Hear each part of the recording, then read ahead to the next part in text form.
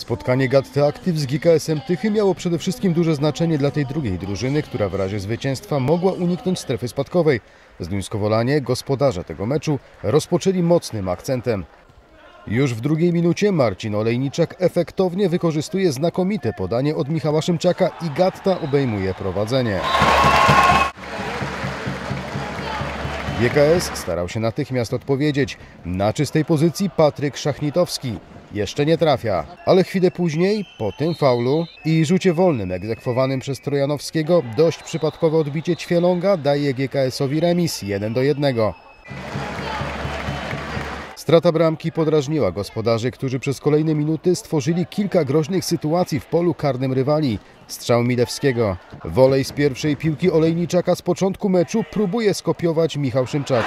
Przejęcie przez Gattę, ale celny strzał Marciniakowi uniemożliwia Piotr Myszor. Znowu Michał Marciniak, ale Zbigniew Modrzik łapie pewnie. GKS oczywiście próbuje szukać szansy na objęcie prowadzenia, bo bardzo chce wywieźć ze Zduńskiej Woli trzy cenne punkty. Ponownie Gatta. Ponownie Szymczak z pierwszej. Teraz Olejniczak, ale Milewski nie doszedł do piłki. Wreszcie 11 minuta spotkania. Dośrodkowania Mariusza Milewskiego umiejętnie wykorzystuje Sylwester Wójcik i daje swojej drużynie prowadzenie 2 do 1.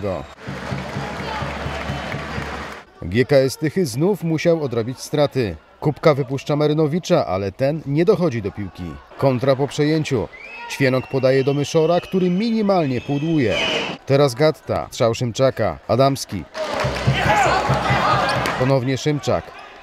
Lecz Modrzik był dobrze ustawiony. Tłum kibiców zgromadzonych w hali sportowej przy Złotej nie mógł narzekać na brak emocji. Mecz był ciekawy i obfitował w groźne podbramkowe sytuacje. Ale groźniej i częściej atakowali gospodarze. Milewski, znowu słupek. Po zmianie stron jako pierwsza zaatakowała Gatta Active. I nawet strzał w poprzeczkę Wojciecha Ćwielonga nie zmienił faktu, że to gospodarze byli stroną coraz mocniej przeważającą. To doskonała okazja na podwyższenie prowadzenia, której nie wykorzystał Michał Szymczak. Wójcik sam na sam, ale Modrzik potwierdza, że tego dnia jest w znakomitej dyspozycji. Milewski nie zdążył. Rzut wolny, Szymczak, Modrzik, Olejniczak do Marciniaka, minimalnie obok słupka. Za chwilę Marcin Olejniczak, znowu niecelnie, Marciniak indywidualnie, ale bramkarz GKS-u na posterunku. W tym okresie gry przewaga Gatty była wyraźna. Goście bardzo sporadycznie dochodzili do groźnych sytuacji strzeleckich. Znowu Gatta, Milewski do Wójcika i słupek. 36 minuta meczu. Olejniczak, Wójcik, Bartek Strzelczyk sprytnie i znowu słupek. Adamski głęboko. Strzelczyk chciał wjechać z piłką do bramki, ale na drodze był Modrzik. Na dwie minuty przed końcem przyjezdni wprowadzają na boisko lotnego bramkarza. Stwarzają ostatnią groźną sytuację.